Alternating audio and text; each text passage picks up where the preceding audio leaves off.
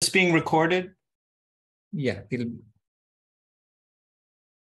All right. All right. So uh, we are going to get started here. Thank you all so much for being here uh, for the launch of my uh, book called The Humane Hoax. It's right here. Essays exposing happy meat, humane dairy, and ethical eggs. And uh, I, I really appreciate everyone being here. Uh, and I appreciate that we could do this at the uh, conference of the V-COP conference. I actually was at the very first one, I believe was the very first one, right, Sailesh, in Arizona? Yes, many, many you were. Yeah, yeah, it's fantastic. Uh, so I'm so glad it has continued and grown. Uh, and uh, so, anyway, I'm going to just talk for a minute, and then we're going to be hearing from eight of the authors that contributed to this anthology. There's actually 18 uh, contributing authors, 18 chapters, and we're going to hear from eight of them today, nine including me, I guess. And it's going to be kind of lightning round style to get everyone in. Everyone's just going to have like five minutes. So uh, it's going to be quick. Uh, but you know, I, I edited I edited this book, but it was a collaborative effort. I couldn't have done it, of course, without these amazing voices, uh, hearing from you know different aspects, different uh, angles of this issue.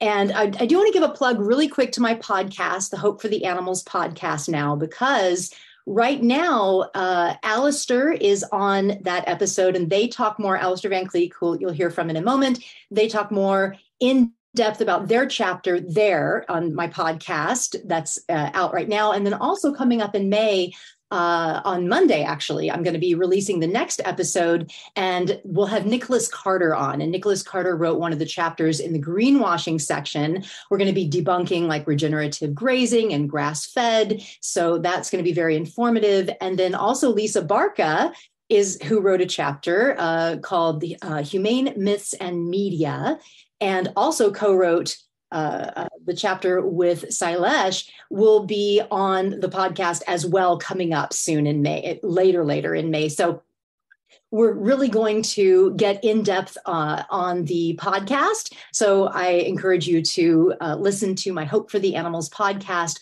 for some more in depth uh, coverage of the book. And I also want to thank uh, Lantern Publishing and Media. I'm so grateful to Lantern for believing in this project, for publishing this book. Lantern has, uh, they've offered a $100 gift card to their online store that we're going to be giving away in just a bit. And I'm just, I'm, I just want to say I'm really grateful that people still read books right? With all the kind of like short, quick social media now, the, you know, just fast, fast memes, videos, TikTok, it, it warms my heart that people still sit down with a book. And I think that it's a way to really connect more deeply with a subject, to really embody the feeling of a subject, you know, beyond kind of the momentary meme. So I'm just, I, I feel like there's a great deal of power in books, and I'm so excited to get this one out far and wide. Uh, it's now been 10 years since I wrote my first book, The Ultimate Betrayal Is There Happy Meat? And this issue has just grown it just it's it's resonating with so many people now so many activists alastor and i started the humane hoax project to get the message out uh, so and and i just decided that i wanted to really amplify this issue. So I started collecting essays for this anthology. And that was like long before the pandemic. This has been going on for quite a while. Uh, the, the, the pandemic put publishing back. So it's just been this long, long process, but it's finally happened. I'm thrilled and excited. And I really see this issue as our 21st century challenge, right? The labeling and marketing, it's just going to get worse. I believe it could undermine our efforts to see a world free of, you know, farmed animal commodification and killing. So it's just this critical, critical issue to educate on. And I hope very much that all of you that are here uh, will be ambassadors for this book, will promote this book, buy one, buy one for your local library library, share on social media. Uh, you know, we, oh, and this is the big one I want to ask is please, please, please write a review on Amazon. You don't even have to buy the book on Amazon. You can buy the book directly from Lantern, but at least leave a review, give a five star rating, and write a review on Amazon. There's not many reviews right now, so we really, really need to bump up those reviews on Amazon. So I'd appreciate it if everyone could do that for me. Okay, so let's do some giveaways before we're going to hear from everybody. We got to jump in here. So I'm how we're going to do this is we're going to use the chat. So find the chat feature, and we are going to uh, let's see. I'm going to find the chat feature, and I would say that this, the authors and speakers today are disqualified. You're going to get a free copy of the book. So, uh, but everyone else, uh, find your chat feature and I'm going to ask a question. And the first person that types into the chat is going to win first a copy of the book. That we're going to give away a copy of the book. So get ready, get your typing fingers ready. And the first question is, oh, what is my first question? I, I tried to make these fairly easy. Uh, the first uh, first um, book uh, question is, what year did my first book come out? I kind of said it already. What year did my first book come out? Anybody? Do do do do do do do. Uh oh, this might have been too hard a question. um, okay, well, maybe I, I said my book came out 10 years ago. There's a hint. Anyone is oh oh wait a minute. I'm not seeing them. Okay. So, oh, here we go. Geez, I, I, there was all new messages. Hello. Okay. So the very first one was Joyce Lipner. Joyce, you win. Woohoo. I'm going to put my email in the chat and then you email me your address and I'll send you a copy of the book. All right. So next, the next question. Thanks for everyone that I totally didn't see all these. Uh, um, okay. So next, we got to get into the people, but one more quick giveaway. This one is a big one. Lantern has been so generous to give us a $100 gift certificate to their online store, which is really, really kind of them. So now for the next question, uh, let's see, what was my other question going to be? Oh, right. How many contributing authors are there to this anthology? Good, Desert Desert Doberman. Wait, was it Doberman? Yes, Desert Doberman. Good job jumping in 18. I had said it. I tried to use questions that I said that I just said the thing. Anyway. all right. Thank you all so much. Um, I hope that was fun, and I hope that uh, those that that uh, won in uh, enjoy your prizes. Okay, we're gonna jump in now. Here we go there's four parts to this book and i have representatives from each parts each different part of the book. And the first part is called humane washing. So we're going to first hear from Alastor Van Kleeck. Uh, they are the co-founder of Tri- triangle chicken advocates and the micro sanctuary movement. Their chapter is called the terrible truths of backyard chicken farming. All right Alastor. Uh, hi, everyone. Um, yeah, I'm Alastor Van Kleeck. I'm the co-founder of Triangle Chicken Advocates, as well as the Micro Sanctuary Resource Center. Um, and uh, my chapter really talks about our firsthand experience of doing uh, rescue and caregiving at our sanctuary for um, victims of backyard chicken farming. Um, and one of the reasons why the Humane Hoax is such a uh, important topic for us and why I worked with Hope to get the Humane Hoax project started was because we have so much experience um, seeing the realities of backyard chicken farming while also hearing people tell us about the myths about backyard eggs um, and, and keeping backyard chickens. And so for us, it was a very clear, you know, uh, uh, paradox between the way people actually treated their chickens and then the way they talked about their chickens and the way they talked about the eggs that they were consuming. Um, and so for a lot of people, backyard eggs are kind of sectioned off from the rest of animal farming as these things that are, you know, they're they're okay. Um, we kind of have other, you know, other forms of cruelty and exploitation to deal with, and the backyard chickens are okay. Um, but we really wanted to try to to tell stories of our residents and kind of show how these myths are are very not true, and they actually kind of um, you know serve to mask a lot of of exploitation and suffering uh, on you know that the the chickens go through at backyard chicken farms. Um, so I tend to talk about backyard chicken keeping as backyard chicken farming um, because it really is a type of farm. Um, and I and we try to steer people away from thinking about farms as this one type of thing that looks a certain way, whether that's a chicken shed, you know, at like an industrial scale farm, or something big with pastures and things like that, like out in the country. Um, because a lot of the the industrial practices that go on in the larger scale farming are also at play in backyard chicken farming. Um, and so what I try to do in my chapter is I kind of start out talking about one of our residents whom we rescued in 2014 uh, named Bibi, who was a little hen who survived a raccoon attack at the um, at a backyard uh, like chicken uh, keeping location. And um, you know, we kind of tell her story about how she was injured during this attack, and when she came to our sanctuary, she was able to recover and really started to kind of come back alive after she started to interact with other chickens again after spending you know some time on her own uh, after the attack killed her her um, three sisters. And so um, from there, um, I try to talk about uh, kind of the realities of backyard chicken farming, including um, you know from the very beginning it, how most chickens at backyard chicken farming setups are usually coming from industrial hatcheries. Um, so there, it's not like you know a mother hen is raising chicks in most cases, and, and for for most of them, you know, um, uh, the chicks are being purchased and and either from farm stores or sent through the mail. And those all happen at you know like industrial setups at hatcheries. And then in addition to that um, i talk about some of the health problems that chickens experience frequently due to selective breeding for um, very unnatural egg production. So the wild ancestors of, of the modern chickens um, uh, only laid you know somewhere between like 10 to 20 eggs per year total and nowadays, uh, modern domesticated laying breeds are laying as many as 20 to 30 times that per year.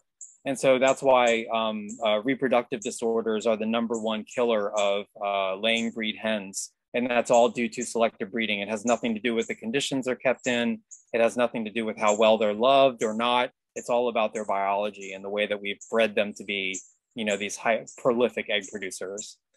Um, also really focus a lot on roosters. Um, for us, we love roosters and one of our biggest, you know, uh, efforts as a, as a sanctuary and rescue is to help roosters who have been abandoned um, and, you know, kind of um, need to be gotten rid of. And so I tell stories of different roosters that we've rescued and uh, including um, the way that uh, we have been able to socialize roosters so that they can live together.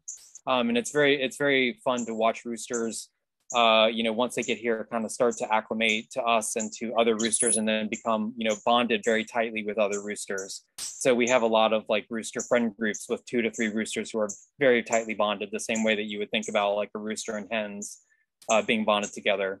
Um, and so, um, really, just trying to kind of unpack a lot of those myths and talk about the ways in which um, uh, understanding the realities of backyard farming can help us see the speciesism that's at, at the heart of all animal farming. And what I hope is, is that if people are able to kind of talk about the realities of backyard chicken farming in ways that focus on exploitation, we can then see how all types of animal farming, no matter the size or the scale or the aesthetics, how all of it is a form of exploitation that harms um, animals.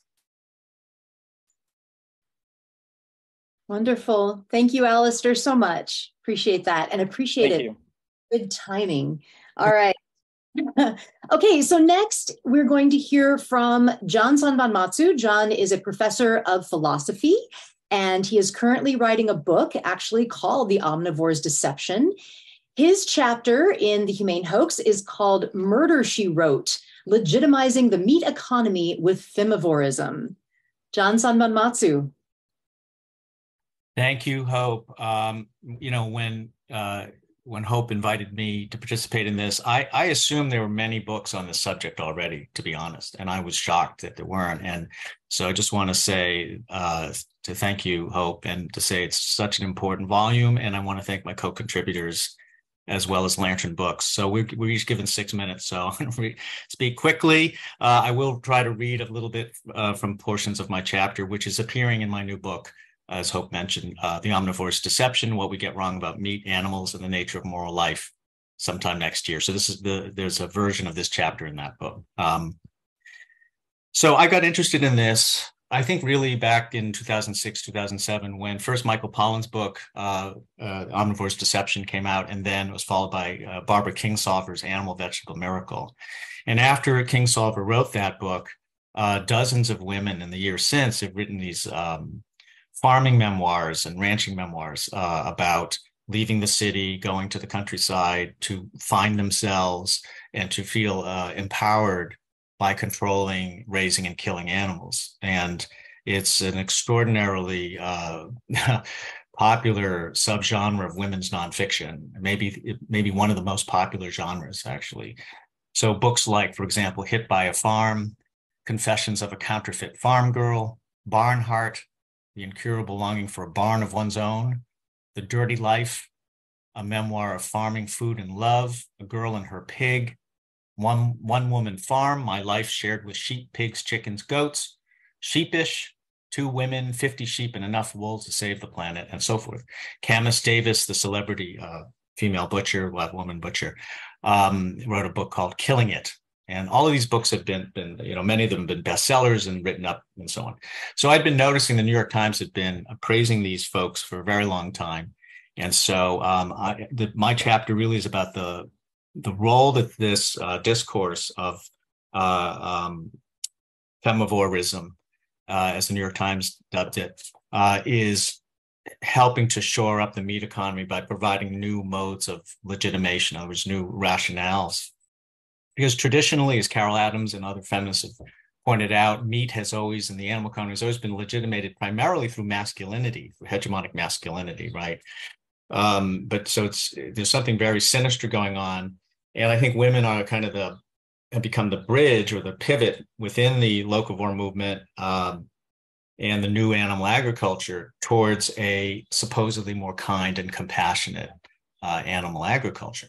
Uh, Temple Grandin, who I don't talk about in, in this version of the chapter, but I do in my book, is a good example uh, of this, uh, you know, very famous person who is uh, helping to um, uh, legitimate the discourse. Um, so there's a great deal I could say. I, I guess uh, let me just read a couple quick things here give you a, a, sense of the way maternal themes and natalist themes are playing into this discourse of these women who are uh, raising animals. Um, so uh, this began, as I said, with Barbara Kingsolver's book Animal Vegetable Miracle. Uh, so I'll just read. Maternalism has appeared in these other books too, a theme signaled on the book's covers, most of which feature photos of their smiling authors in mud boots and clutching chickens, lambs, or baby pigs, infant like to their gingham clad chests. Quote, we would make babies, Catherine Friend says in Hit by a Farm, after she and her partner buy a farm in Minnesota to raise sheep. Another author puts a basket of gear and supplies by her back door like a hospital suitcase for a mother in waiting or a midwife preparing for midnight delivery. So, um, you know, I, I, can't read more due to lack of time, except I want to say this that so there's all this very pleasant uh, imagery about maternal care uh, but then the women um, just express enormously ferocious violence towards these babies that they've raised. Uh, some of them with great gusto, like uh, uh, uh Noel, what's her name, Noel Carpenter, uh, a particularly vicious killer of animals. So my my chapter really is about trying to explain this. First of all, in terms of what happened to women and feminism, and my thesis roughly uh, is that uh, even though these are very these are professional middle class and upper class white women uh, you know they've hit the glass ceiling because women are still subordinated to men in our society you know years after they were supposed to have been liberated. And then i see these um, memoirs and the millions of women reading them as a kind of a kind of uh, reactionary uh, uh, attempt to recuperate women's empowerment or women's agency, but it's a displacement onto the animals. This this kind of frustration and rage. Uh, so they can't, uh, you know, stick it to the man, but they can stick it to the pig, as it were. And meanwhile, just to close off, because I know I'm out of time. Um, yeah, so I think the the, the um, in terms of the meat economy again. Let me just read this last thing. More than a cultural curiosity, the femivore phenomenon has become central to society's efforts to stabilize and legitimate the failing meat economy. By depicting violence against animals as a form of women's empowerment and maternal care, femivorism is providing society with a new set of rationales for maintaining its endless violence against other beings. That's all I'll say. I do want to apologize. I have my family in the, the other room. I, this was a uh, I'd already agreed to this family gathering, so I have to go. So I will watch everybody else's presentation later. Um, but thank you, Karen. Uh, thank you, Hope, uh, again, and nice to see some people like Karen and Robert and folks I know. All right, take care, everybody.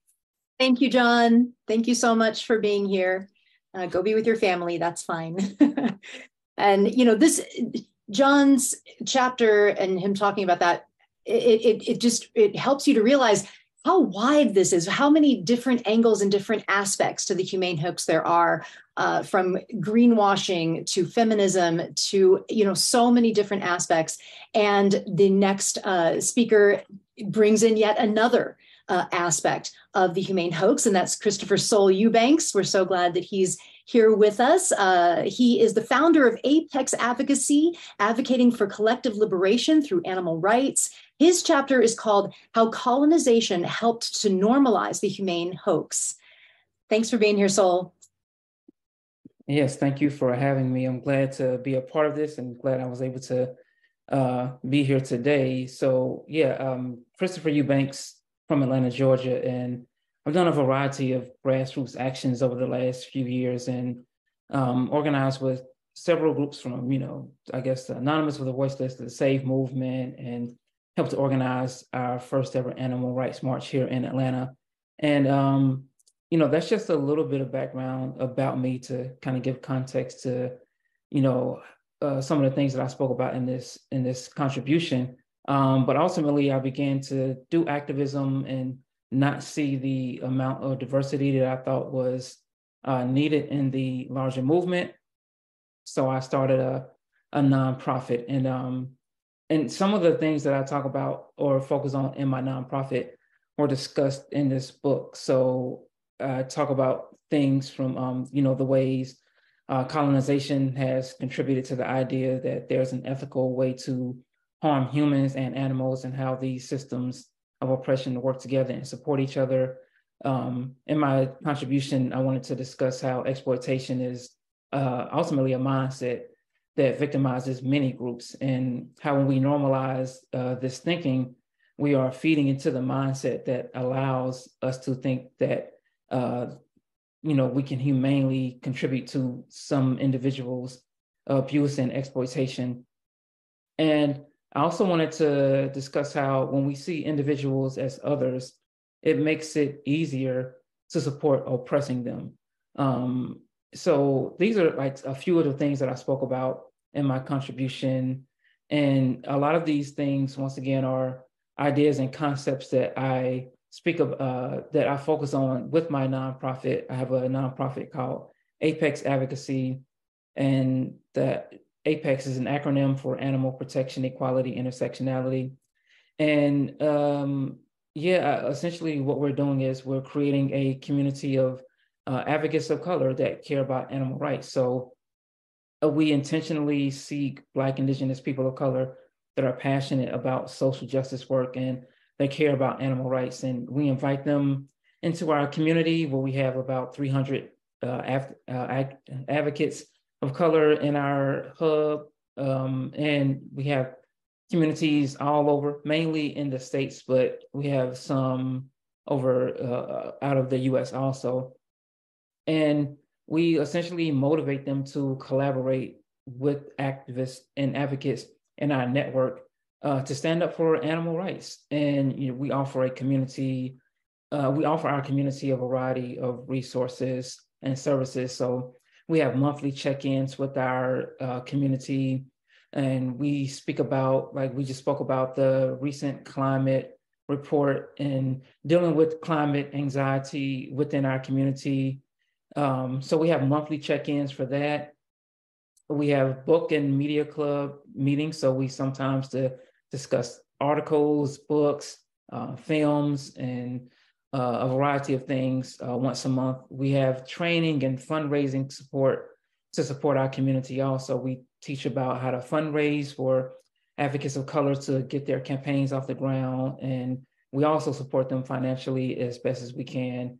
And we have a Slack channel to share job postings and late the latest updates. And we do in-person meet and greets and a lot more. So, um, but essentially a lot of the ideas and concepts once again that I spoke about in our organization or in the book is also discussed uh, in our organization and in our community. And I'm, I'm glad that Hope reached out to me to contribute to this and you know share my thoughts because these are things that I've had thoughts about how I could share my perspective, but didn't quite know how to channel them. So um, I hope you all get the book, read it, and read through all the contributions and ultimately see how all of these issues intersect and connect with each other. But uh, yeah, you can always, you know, oh, don't you have a campaign uh, about a local slaughterhouse or like a, a, a, very small slaughterhouse that is in um, a community of color? Is that? Yeah, so we actually recently, well, not recently, uh, about a year and a half ago, we found out about a person slaughtering animals in their backyard, and the person lived five or 10 minutes away from me. And um, this was in my community for years, and I had no idea about it. And so we took on the, we supported the community in the efforts to get this slaughterhouse shut down. So they would kill about 100 animals a month, and it was totally unsanctioned by the county. Um, it was a block away from an elementary school and it's in the black communities. It's an older black guy that was doing the slaughtering, and he would kill pigs, goats, sheep, and this was under the guise of, I guess, more humane slaughtering or um, grass-fed animals, and you know the these uh, talking points that are used to support animal exploitation. So we actually recently got somewhat of a victory. The counties come down really hard on him and told him that he has to close the slaughterhouse by May 3rd. Um, and yeah, uh, this is the first sign that the community has had that there's some type of resolution. And we just shared that in our newsletter literally the other day. So yeah, that's like the biggest new development in that situation. Fantastic. Great job. Great job. All right. We've got to move on, uh, but thank you so much for being here. Uh, okay. So uh, and for writing your chapter. It's a wonderful contribution.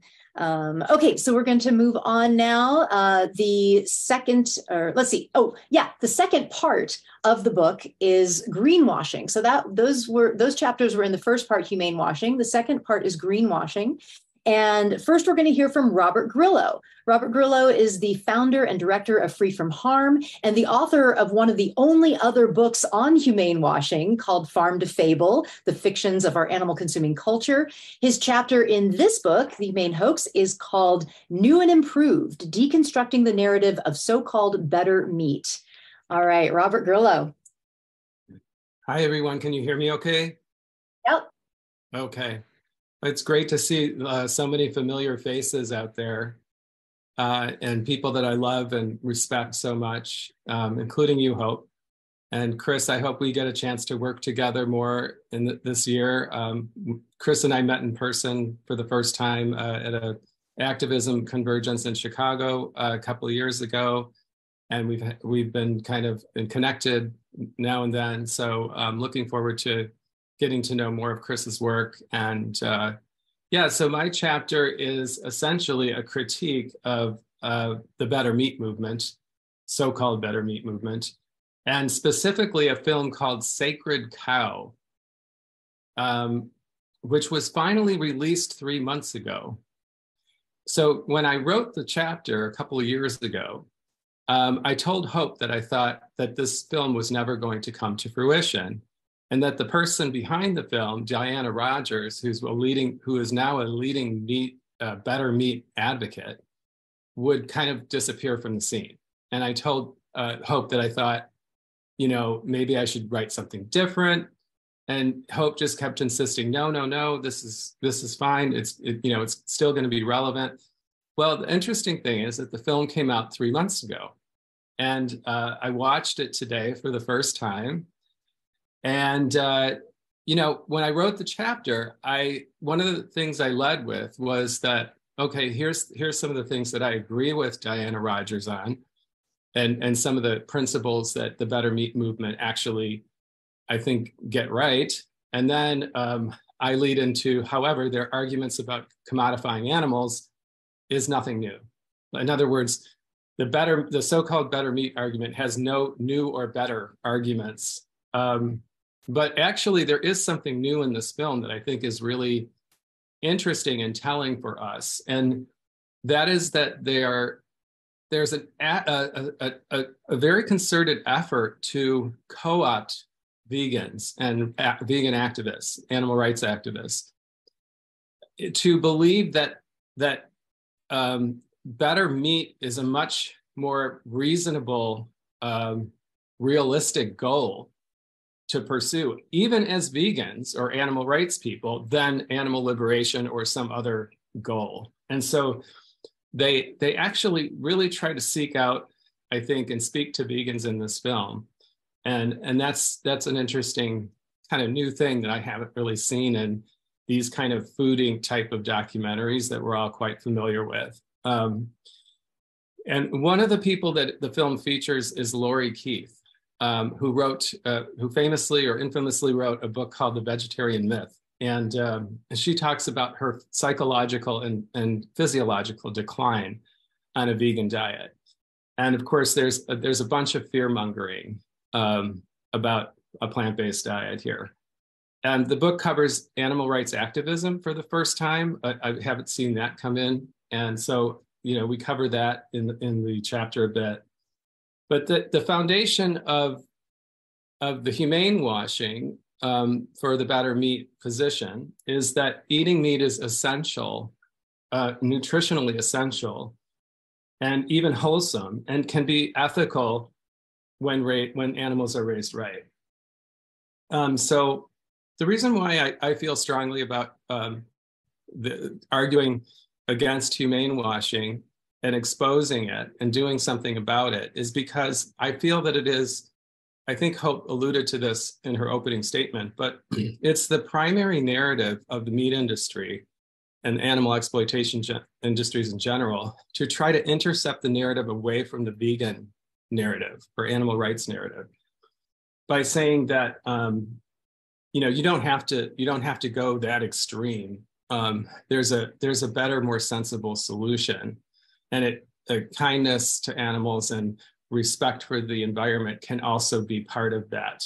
And so, um, so yeah. Uh, but the importance of um, countering this backlash, this is part of the backlash from from society um, to the animal rights, animal liberation movement, and um, the way we counter this is very important because we have to come back with an actually even better argument for why that's flawed um, in order to be a successful social movement. And Erica Chenoweth, in, in her research into social movements, actually pointed out that uh, narrative discipline and having a, a really strong uh, response to the backlash is one of the four traits of a successful social movement. So um, I've decided to really um, figure out not just how to expose it, but how to actually use it in our activism, in our everyday activism um, against animal agriculture. So thank you so much. Thank you, Robert. Uh, thank you for all the work that you're doing uh, in the humane hoax uh, area with your uh, um, focusing in on the slaughterhouses in Chicago and, and uh, really great, great work. Thank you so much. All right. So next we have our gracious host of this entire conference, Sailesh Rao, contributed a chapter to the book as well. He uh, co-wrote his chapter with Lisa Barca, who is here as well. Lisa's going to be on my podcast, the Hope for the Animals podcast, coming up in May to really break down her chapter. Uh, so, but we'd love to hear from Sailesh, of course, the founder and executive director of Climate Healers. Their chapter was called The Ethical Vegetarian Myth myth. Sailesh? Good. Thank you so much, Hope, and thank you so much for for uh, graciously hosting your panel and your book launch on V-COP13. So it's an honor to welcome you. Yeah. Yeah. Uh, yeah, so the chapter I wrote is based on my personal experience because I had the veg- ethical vegetarian myth. Uh, I was deeply entrenched in it. I was thinking that drinking milk was not so bad. In fact, uh, I'm actually helping the cow or whatever. All these the things that we are drilled in, that gets drilled into our heads, right, when we are children. And uh, and as a systems engineer, I I had known about um, local sensitivity analysis versus global sensitivity analysis, and I was looking at basically the impact of dairy consumption and whether it is harmful to the environment or not. And that was the lens I was using for my moral decisions. And uh, then I realized I had been fooled into thinking that uh, dairy consumption is not so bad from an environmental perspective. And that was by doing a local sensitivity analysis on dairy, putting most of the onus on the beef consumer, and so that the dairy consumer gets uh, less of the burden, so to speak, for raising the animal. So then uh, I realized that doing a global sensitivity, global sensitivity analysis will show us that dairy consumption is actually the worst from an environmental perspective. So that's what the chapter is about. It shows the, the logic behind uh, what would happen if everyone went to a, being an ethical vegetarian. What would happen to the planet if we did that? And we show that the planet would be completely destroyed today if that's what happened. Because no one would be eating beef and so on. So all this commodification that happens to the animal after we exploit her, um, that is sort of cleaning up after the ethical vegetarians, so to speak. So that's what the chapter is about. And Lisa contributed a, an important section on the feminist perspective for that. And because we talked about both the dairy cow and the egg laying hen, and how the same ethical vegetarian myth applies to the egg laying hen as well. So, and so thank you again for allowing us to contribute a chapter to your book, Hope, and for editing such a beautiful book. You know, very, very timely. Yeah. Yeah. There's a little bit of time. Lisa, did you want to pop in and say something? Oh, yes. Well, I mean, I guess I, I could just briefly comment on I mean, since Sailesh brought up, you know, the the the uh, you know the, a, a, a, feminist you know perspective on this. Um, uh, you know, most most self-identified uh, feminists are, of course, you know, ignoring um, the exploitation of of um, well of all non-human animals, but particularly you know female uh, animals, right, for their uh, reproductive capacities and how we can exploit that, you know, to gain the, these, you know, these these commodities um, that are bad for us to consume. And I, I've been to feminist conferences where you know people are eating, you know, eggs and dairy and and stuff, and you know, I've tr- tried to bring things up and um, met with a lot of resistance, but I mean, I mean, just honestly, you know, if, if we are going to um, draw an arbitrary speed, if we're advocating, say, for, for reproductive justice for human women, if we are advocating against uh, sexual assault, you know, uh, for women, uh, human women, which we should be, um, and yet ignoring the fact that these uh, practices go on, you know, that, that that is the foundation really of animal agriculture is is kind of the uh, sexual and reproductive exploitation of of these female animals. And so I'll just I know we don't have a lot of time, but I'll just briefly say as as a woman and as a feminist, I feel uh, compelled, you know, to speak out on that aspect of it. And that it, that was kind of the thing that that pushed me to uh, become vegan. I had been an ethical vegetarian for quite some time, and then in 2017, I saw a video. I don't even know how I came across it of the you know the the the calf, the baby calf, being you know taken away uh, from her mother, and I'm, I'm, sure we're familiar, you know, all of many, if not all of us, with this, you know, tragic moment, you know, where the mother is like pursuing the baby in the in the cart or whatever until it's you know just out of sight, and the baby is so scared. And I just saw this, and I was like, how did I not know this? You know, how did I not realize this? And um, yeah, that that was it. I cried and then I became vegan and I, I never looked back. So yeah, that's a, that aspect of this that's um, I just think really important to me, both politically and personally. Yeah, Wonderful. Thanks, Lisa. Thank you for your contributions too in the book. We appreciate you and your sure. writing. All right, so we're going to move on now to Joanne Kong. Joanne is a vegan advocate that is recognized around the world. She edited a wonderful volume called Vegan Voices Essays by Inspiring Changemakers, uh, another anthology. And I was honored to have a chapter in that anthology. And she has returned the favor by having a chapter in this anthology. And her chapter is called Kindred Spirits or Commodified Objects Disconnect. I'm sorry, Kindred Spirits or Commodified Objects Disconnection and Perception in the Humane Hoax. Joanne Kong. Hi, everyone. I'm so honored to be a part of Hope's new book. My activities as an advocate revolve around writing, international speaking, and recently I'm using the power of music and the musical arts to inspire compassion for animals. As a pianist, I recently formed a partnership called Vegan Virtuosi with vegan cellist Christoph Wagner. I'm so glad to be in this book launch today with Hope, Dr. Rao, and Dr. Davis. As Hope mentioned, we are all in the recently published book by Lantern called vegan voices. So, my chapter in the humane hoax delves into the ways that mainstream perceptions have led and fed into false narratives that there are humane ways to exploit animals. One of my favorite quotes that I include in the book was written by Michael Mountain. He said, I am not an animal. Over thousands of years, we humans have sought to separate ourselves from the rest of nature to see ourselves as superior and exceptional. We don't even like to be reminded of the fact that we are animals. They are animals, we are humans.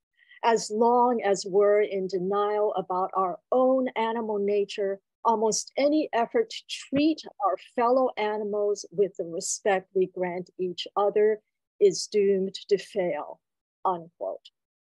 I also point out emotional value, how consumers are misled through marketing labels to feel that they are making ethical choices. For example, 63% of Americans actually believe that free range chickens live outdoors in natural settings, when in fact the birds are often crammed together in horrifying indoor warehouse facilities suffering from fear, debilitating injuries, and industry standard mutilations. I also felt it was important to share about my own upbringing and how I myself was raised disconnected and distanced from what happens to the animals. In my chapter, I wrote, my upbringing reflects a particular aspect in which the consumption of animals has become culturally celebrated, namely that of culinary excellence. My father, and especially my aunt, had reputations as superb cooks, the latter with a notable reputation in which she was praised as the Julia Child of Cantonese cuisine. I have many memories of Chinese dishes intricately and meticulously prepared and admired. Shark's fin soup, chicken feet, beef tongue, chrysanthemum fish balls, red cooked pork, pig's feet, and more. In this cuisine and many others, there is also the idea that lesser consumed animal species, lamb, duck, squab, baby goat, and octopus, for example, are delicacies, special treats to be savored with the senses. It is indeed disturbing to realize the perceptual disconnect taking place here. The brutal killing of a kindred being has come to be disguised as culinary art. I look back with shame at the fact that my younger self did not possess the awareness to realize whose body parts I was consuming Yet I hope it provides me with the necessary perspectives to help others on their vegan journey and to do it in a way that is positive and not judgmental. I know that this book that Hope has put together and all its contributing writers will make a difference. by raising compassionate awareness and motivating consumers to critically examine the consequences of their food choices. I conclude by writing the following. Ultimately, ending the humane hoax will only be possible when we make the choice to abandon the practices of food production that are rooted in suffering and the violation of every animal's desire to live. While we are making progress, the task is a difficult one. What is called for is a true revolution of the heart, rising above material self interests to a new, deeper spiritual awareness. This is not some vague notion. In truth, it is a movement of our collective consciousness towards seeing ourselves in all others it's a new perception in which boundaries and divisions no longer separate us, and a higher level of caring for ourselves, animals, and the planet is grounded in the knowledge that we are all connected. Thank you. Thank you, everyone, and especially Hope. Thank you, Joanne. Uh, it was beautiful. All right, we're going to move on to our next speaker, Karen Davis. Karen is, of course, the founder and president of United Poultry Concerns, the first ever organization to focus on chickens that includes a sanctuary uh, for birds in Virginia. And her chapter is called Humane Eggs and Happy Wings A Look Behind the Labels. Karen Davis. Oh, you're muted, Karen. Karen, you've got to unmute. Unmute. How's that? There we are. We can hear you now. Can you hear me? Yeah. Okay. I didn't unmute myself. I think you unmuted me, didn't you? Somebody did. Wasn't me. But anyway, um, I'm delighted to be here. And of course, um, I share everybody's uh, gratitude to you, Hope, for uh, putting this book together and uh, for not for persevering and uh, continuing to get it to where it came to fruition. And uh, it's a wonderful enterprise to be a part of. And I'm very grateful. So I will just uh, plunge into a few things here. Um, I'm very fortunate to be here uh, on the eastern shore of Virginia, uh, not because it's the largest poultry producing area in the country and considered the birthplace of the broiler chicken industry by the industry. Uh, however, we do have a nice 25 acres here for our sanctuary uh, for chickens. We have roosters and hens, we have a peahen, and uh, we have one wonderful uh, female duck. So I'm surrounded by chickens as I sit here and talk. And uh, actually, on Thursday, was the first day this year that I have gone outside in the afternoon and decided I was not going to sit at the computer anymore. It was a nice day, and I went outside and I sat on the back steps, the, the brick steps with our chickens. And um, it's one of the things that's just so nice is you know, when you walk out the door, of course, the chickens will run from here and there, uh, uh, believing uh, with justification often that you have some nice treats for them to scatter about. But once they realize that, uh, in this case at least, that wasn't going to happen, um, they either go back to what they were doing or they will come and sit around you and they will just sit quietly and, and contentedly. And it's just such a privilege, really, to have them with you and just to see how sweet they are and, and how friendly they are and how much they enjoy their lives. Now, one good feature of our sanctuary is that in 2014, we enclosed 12,000 square feet so that our birds have access to trees, bushes, everything is predator proof. So we get to see our birds jump up into the trees at night uh, there's a lot of commotion at night and uh, uh, get settled into the trees and to uh, sit in the bushes at night. And of course, we have houses they can go into if they wish.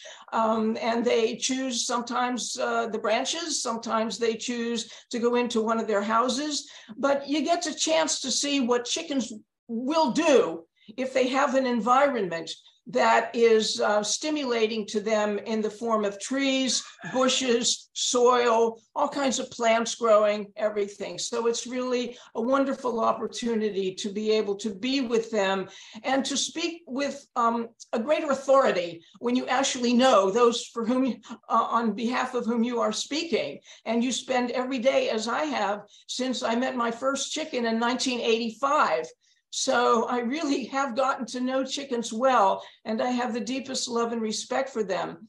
Um, the chapter that I uh, contributed to um, uh, the hum- Humane Hoax anthology, uh, first of all, back when I started United Poultry Concerns in 1990 in Maryland, one of the uh, uh, first things we did back in the early 90s, I and uh, three of our staff people, was to visit two so called cage free operations in Lancaster County, Pennsylvania. Lancaster County is a huge egg product- producing county. Uh, it's an Amish county. Um, not only Amish, but it's an Amish county. And um, uh, egg production and animal production is a very big uh, uh, production there. Uh, so uh, we managed to get uh, visits to uh, a huge egg um, uh, producer named Sauders, S A U D E R S.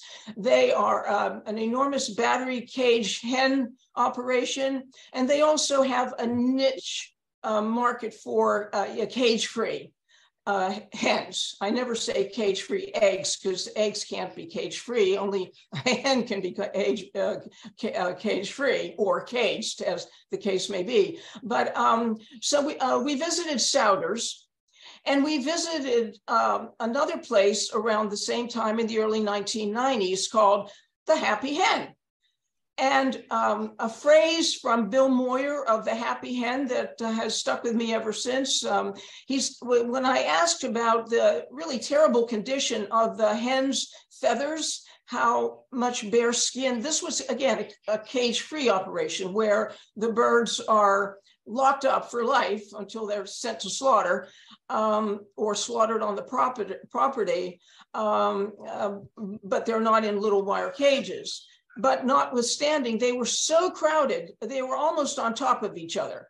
And I made a comment to Bill Moyers, you know, why do these? I mean, I already knew the answer to that, but I said, well, you know, why are these hens so, uh, uh, so? Why do they have so such so much bare skin and uh, and why are they so featherless? And he laughed and chuckled and said, well, we have a saying in this business: the rougher they look, the better they lay the rougher they look, the better they lay. Well, that that phrase that he thought was really cute and of course, we weren't quite exposing ourselves as to exactly what we were about. You know, we were just uh, representing ourselves as visitors interested in learning more about uh, hens who were raised in um, uh, situations other than just battery cages. So he felt freer to be honest about how he really felt about things. And so um, uh, I always have thought that is just such a, a kind of iconic attitude that I have encountered in, well, almost anybody in a- animal agribusiness, in poultry agribusiness or, or cage free or whatever. Um, so there was the Happy Hen and there was Sauders, and they were both very similar, very, very crowded um, uh, living conditions, uh, uh, one square, a square foot and a half, or a square foot and less than a half, or just a square foot. Um, yeah, I have to have you wrap up quick, so. Oh, I will. Um, finally, in the book, I talk about a, a, place we learned about by accident in Nelson County, Virginia, a very rural county called Black Eagle Farm. And um, uh, this, represent, this farm represented itself as a cage-free, organic, uh, the biggest cage-free organic um, uh, the farm for hens and, and other animals in, in Virginia. And um, I'm so sorry. People are going to have to read the chapter to get that story. Yeah. I'm sorry. Uh, we still have another speaker and we've just got five minutes left. So we're going to move on. But thank you, Karen. It was wonderful to see you. Please, everyone, read the chapter to hear that story. Okay, so the knack, the, I'm sorry, the last speaker is in the fourth section of the book, and we call that section the spiritual dimensions, because uh, this is an important aspect to me um, as a Jain. uh, and I wanted to have a spiritual connection in the book for, for, a couple of chapters. And I'm so glad that Dr. Christopher Miller was able to be here today. He wrote a chapter in that section, he is the co founder and chief academic officer for Arihanta Academy, a Jain college that I've actually uh, taught a class at as well. And his chapter is called Using the Deeper Dimensions of Jain Ahimsa to Shed Light on the Dairy's, on Dairy's Humane Hoax. So, uh, Dr. Miller, Dr. Christopher Miller. Thank you so much, Hope, uh, for inviting me to be in the book. And it's wonderful to be among so many esteemed people in the movement. Um, so I'm Dr. Christopher Jain Miller once again, and uh, Hope is on our faculty, as is her husband. And really, my own journey, I think you asked me at a perfect time to write this chapter because I only recently became vegan and really started to understand what all of the issues are that you're speaking about uh, I became a committed, what Sailesh called uh, ethical vegetarian a long time ago when I was introduced to the Jain tradition. And of course, it can get a little bit weird with any spiritual tradition. Um, things can, certain beliefs can come up, things that aren't scientific or aren't real or don't matter or don't apply. But I didn't find that in the Dharmic traditions. When I say that, I mean the religions that come out of India. I found also a lot of resources for understanding our relationship to the environment, to animals, to one another to everything around us. And my chapter in particular is about a story, and it's about one of the founders of this tradition, Mahavira, which means the great hero or the great warrior. He was a contemporary of the Buddha, who many of us probably know.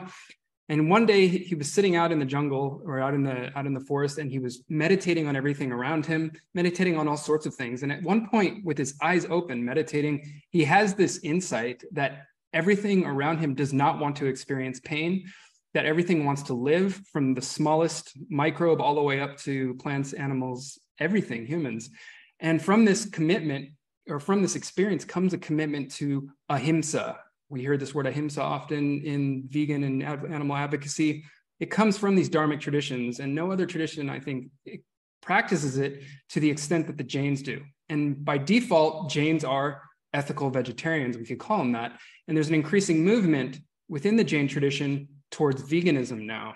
And what happened was I was an ethical vegetarian for a long time, kind of blocking out, didn't want to know what was happening after the, you know, or even while the, the milk and everything, the dairy was being produced. And eventually there was a campaign run by the Jain Vegans online. And I had this experience where I was listening to the Jain vegans advocate for veganism in light of the multiple harms in dairy that all of you have discussed so well today. And that's when my light bulb went off. And it was through this transformative study of this philosophy, of Jain philosophy and of yoga philosophy, also, as well as being in graduate school and eventually teaching, that I had this moment where I thought I can no longer teach this tradition with integrity unless I myself am willing to take the next step and give up the dairy. And I was in Switzerland at the time, and I live in Switzerland. So you can imagine that was very difficult uh, at that moment, but I knew I had to do it. And I did it. And I try to show others as someone who grew up, grew up eating everything in the American diet, that it is possible, that it is necessary, and that the Jain tradition says that we are responsible for all harm, not just direct harm, for indirect harm, as well as the structural harm that goes on around us. And so I try to emphasize that in my chapter that we are all responsible for that. And spiritually, for those who want to live a spiritual life, can be quite beneficial for for addressing our spiritual life this way as well because the world is real. Everything that happens to animals is real. It's not an illusion as it can be in many spiritual traditions. And and veganism is one of the major answers to all of our problems as has been pointed out. So i know we're coming to the end hope. I'll leave it there and i thank you all for your attention and thank you hope Thank you, Christopher. Thank you, everyone. What an amazing variety and uh, just diversity of voices, uh, and it reflects the book. So uh, please uh, support the book, help us to get the word out, and thank you so much for your support of the Humane Hoax. Uh, and Sailesh, any final thoughts? We're kind of at the end. we're probably wrapping up. So. Yeah, we do have some time because we are still waiting for our next speaker. So if you want to have a short Q&A, would that be okay with you? Sure, absolutely. Yeah, anyone that needs to go can go of our speakers. Uh, that's fine, um, or, or stick around if you can. Uh, yeah, any questions for any of the panel? Go ahead, watch. Oh, thank you, Dr. Rao, and, and great work in by all the authors of the book. My my question is uh, regarding breaking breaking this myth because you know it's not just the myth in the community about about chickens, but also the the myth about switching to maybe like an electric car or uh, everybody shouting about get the fossil fuels fuels out. So a, a bunch of these uh, myths prevail or are promoted not only by our media but also by our leaders. So, what's the common thread in breaking the myths? And I'm really glad that Dr. Christopher mentioned about ahimsa because you want to be nonviolent, but you know there are other people who are who have different motivations behind these myths, uh, be it self-promotion or um, you know, being popular or you know selling merchandise, what have you. So how do you break these myths? What's the what's the uh, ahimsic method or nonviolent method of confronting these myths so that people can not only have a shift in myths, but also their beliefs and culture? Yeah, I'll just say it, it, it's interesting because one of the reasons that I focus on this issue is that you hear so much from activists that they're doing their work, they're out talking to people, they're doing, you know, cubes of truth and they're they're talking to people and what they'll hear from people is, "Oh, well my my eggs are cage free." Well, wait, I get my meat at Whole Foods. So, you know, it, I, it's okay, right? and and that is a challenging moment because you know we we want to say no of course that's not you know no don't you understand and that's what we have to educate ourselves i think as activists uh, to and what I often will do is I want to acknowledge that people are trying, that they care, that these for that they're seeking out these labels because they care, that they are paying more money because they want to be more humane. And we have to, I think, coming from a place of uh, compassion, living in a uh, you know a life of ahimsa, we want to say that's great. That's it's wonderful that you care. You know, thank you so much. If you do care, then let me tell you that actually cage free isn't what it what it you know what it appears to be or you go into that so we have to you know acknowledge that people do care that's the reason these these labels exist it's the reason that people seek them out which is great. People want to be more compassionate. They don't want to be part of hurting animals. I think that is a general consensus. So, so now our job is to expose the truth, to expose that there is no humane way to ever commodify and kill an animal. It can't be done. Uh, and we go into great detail in the book about why that is. But does anyone else want to say something about this? Robert. I, I just want to quickly add that um, I, you know the approach that we're taking is dominant institution change. In addition to, you know, a lot of people in our movement are working on outreach to the public, and that's of course important. But we also need dominant institution change to really see the kinds of impacts that we, we we're looking for. If we really want to see a major shift to a, a plant-based uh, population, mm-hmm. then we have to do the work of a social movement in targeting power holders of our food system in order to bring about um, that dominant institution change that will really bring some dramatic results. But that's the hard work that I think we we really have to be focusing on, um, like all other social movements do. Yeah. Thank you so much, Hope. Uh, with that, we have to end because uh, I was mistaken. Sue is still Sue is here. Oh. she's a, she's under Alex's name. So all right. All right. Wonderful. Well, thank you so much. Thank you all. Thank you for everything. Yeah.